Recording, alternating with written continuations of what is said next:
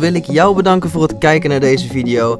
Vond je hem tof en entertainend voor een zondag video? Doe even een blauw duimpje omhoog. Ik heb in ieder geval super genoten. Mijn accu was alleen helaas op na dit shot, dus dit was het.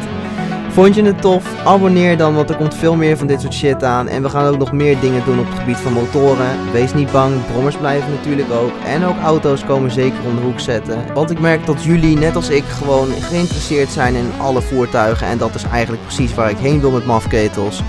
Dus ik check jullie de volgende keer weer, want we gaan hier nog super lang mee door. Later!